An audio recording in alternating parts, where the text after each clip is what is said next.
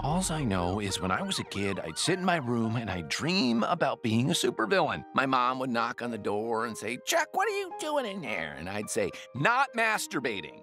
And she'd say, that feels like something a masturbator would say while masturbating. And I'd be all like, Mom, I will tell you when I'm masturbating. Jesus fuck! Stop telling that nasty ass story.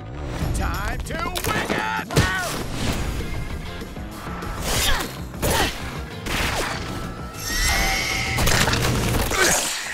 Ooh, it's wet, it's gross.